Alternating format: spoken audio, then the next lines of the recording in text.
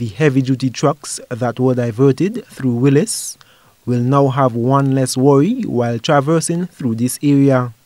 So too will residents and motorists who use the road daily after Friday of this week.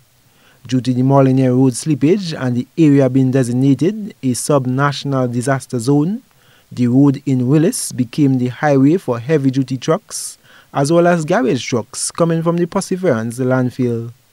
Project Coordinator for Consolidated Contractors Company, CCC, Rawson Bolin says, recognizing the increased flow of traffic due to the new asphalt plant in Perseverance, they decided to make the journey easier for everyone. So we volunteered to extend this culvert for the government and people, and we also going to excavate this portion of this land so the traffic could be viewed properly from one end of the road to the other end of the road. The work began on Saturday with the deadline for completion this Friday, and the project coordinator says CCC is absorbing all the cost. Okay, because this this portion of this road is under the Kuwaiti funds that the road have to continue from out there to join back. If you notice, CCC did the whole um, Grenville Vale Road to stop there. So this is our next phase.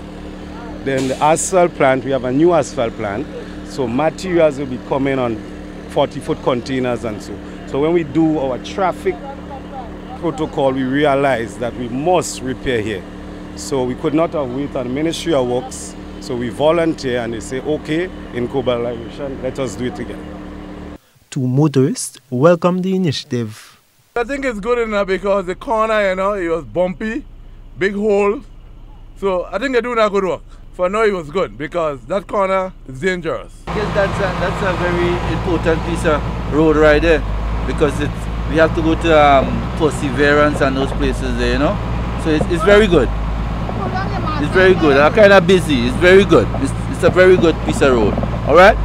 According to Mr. Bullen, the road is sinking and very narrow, with the heavy equipment passing adding to the danger. I am Gerard Joseph for GBN News.